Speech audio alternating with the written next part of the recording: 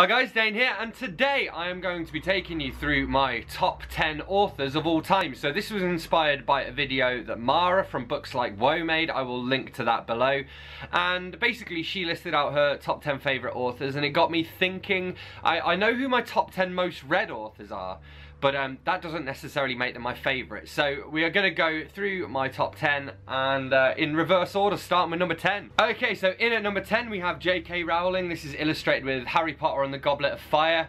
And really, you know, I feel like I have to include Rowling because just with my generation in general, she was just such an undeniable influence on our reading. I mean, I, you know, I read all the Harry Potter books as a kid. I've reread them here and there throughout the years. I'm not like a huge fan, but I would say I'm a fan. I don't necessarily like her as a person, I, I don't think, but um, I mean, just for the Harry Potter series, I feel like it would be an injustice not to include her. So number 10, J.K. Rowling. In at number 9 we have George Orwell, so this is Down and Out in Paris and London. I've read most of his books now, I think I'm missing one or two. Favourites include, obviously, Animal Farm and 1984. Homage to Catalonia was great as well. Uh, Burmese Days. Um, this was great actually, Down and Out in Paris and London as well. I like how sometimes he writes novels that are based on the real world and sometimes he literally writes sort of non-fiction stuff, uh, you know, as is the case in, in this book and also in uh, hom Homage to Catalonia. So yeah, George Orwell, number nine. In at number eight, we have Sir Arthur Conan Doyle. This is the sign of the four. I've also, oh, well, I've read all of the Sherlock Holmes stuff. I've read uh, The Lost World, and then I've read a few of his other books. So he's also written some sort of, almost like military history books, um, some short story collections, that sort of thing. And I'm sort of slowly working my way through his back catalogue. He did develop some weird beliefs towards the end of his life and kind of started believing in fairies and stuff, which is kind of strange. But um, yeah, you know, big fan of Arthur Conan Doyle, and I, th I think it's really him who got me into sort of the murder mystery genre. And then I read Agatha Christie later, but uh, spoiler alert, she may be on this list. At number seven, we have Roald Dahl. This is the BFG. My favourite as a kid was actually George's Marvellous Medicine. I enjoyed Charlie and the Chocolate Factory. Charlie and the Great Glass Elevator was pretty good as well. The Witches used to really scare me. So yeah, I kind of worked through a fair few of his books as a kid. Then as an adult, I have actually read some of his uh, stories for adults. I've also read Boy and Going Solo, which are his um, autobiographies. He actually used to live about five miles away from here in Great Missenden. And there's a Roald Dahl museum that at some point I want to want to go visit for sure. But uh, yeah, Roald Dahl in at number seven. Okay, number six, we have Charles Bukowski. Now, Bukowski was a poet and a prose writer. He wasn't the nicest of people. He was basically an alcoholic, womanizing, uh, gambling addict, but he did, he could write, you know? So, and also I've always, I mean, there's a, there's an ice cream van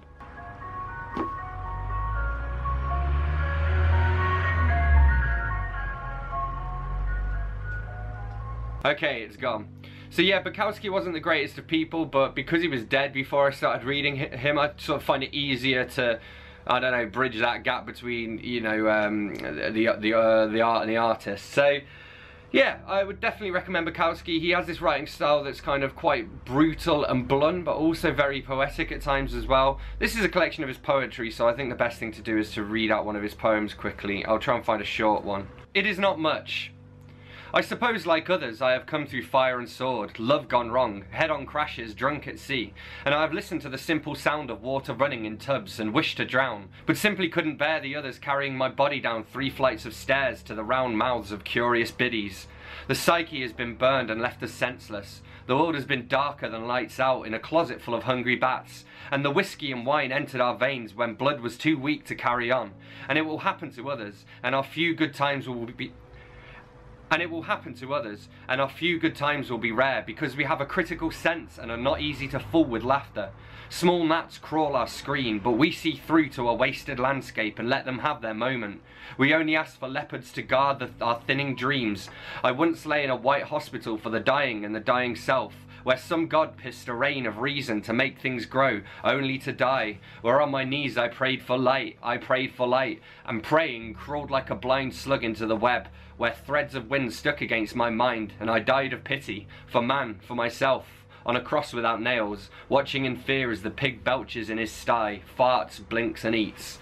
This is uh, The People Look Like Flowers at last. And yeah, that's Charles Bukowski at number six.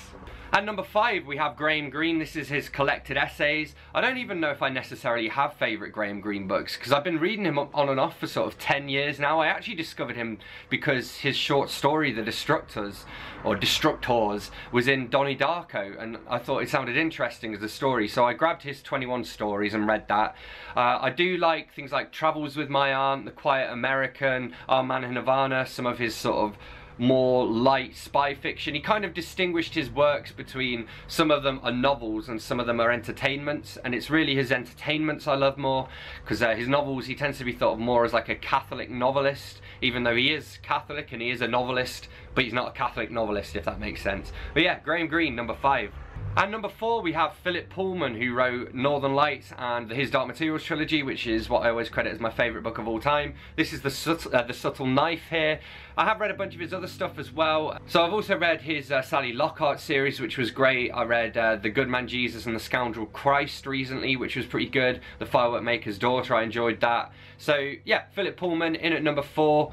Not quite my favourite author, but uh, he is up there. At number three, we have Agatha Christie, and this is After the Funeral. Everyone knows that I'm a big Agatha Christie fan. I've probably read maybe 30, 40 of her books now. I tend to prefer Miss Marple to Poirot, actually, although I do enjoy them both. And uh, yeah, she's one of those authors that for sure I'm just going to slowly work my way through, and she's going to be one of my all-time favourite authors for all time but not my favourite. And number two, we have Stephen King, and this is represented by The Green Mile. Again, people know I'm a Stephen King fan, and he's another one of those authors I'm slowly working my way through all of his books. I am getting there. I think I've probably read more of his books than Agatha Christie's, although I, I couldn't swear by that. And yeah, I, I, haven't really read any of his books that I haven't liked. There are some I've enjoyed less than others. I'm actually currently reading Bag of Bones and I'm not particularly enjoying it. But um, yeah, definitely worth a read from, from me, Stephen King number two. And so, drum roll please. In at number one is Terry Pratchett and this is Snuff. He's my most read author. I just love his stuff. I've read pretty much all of the Discworld books, most of his non-Discworld books as well, and I've even worked through a lot of stuff like the Discworld calendar and things like that that are kind of sort of spin-offs or whatever. So uh, so yeah, Terry Pratchett for sure, my favourite author, I would say. Even though I don't, I don't read him as much as I used to. I've, I've actually been re uh, rereading him for the rereadathon and really enjoying that. But obviously, with his new books, there are only going to be a finite number of them, so I'm trying to take my time with them and. Uh, you know, make them last. But yeah, Terry Pratchett in at number one. So there we have it, those are my 10 favourite authors of all time. Don't forget to let me know in the comments what you think of this list, whether you're surprised by it at all. Let me know if you've read any of these authors as well. Hit that like button if you've enjoyed this video, hit subscribe for more, and I will see you soon for another bookish video. Thanks a lot, bye bye.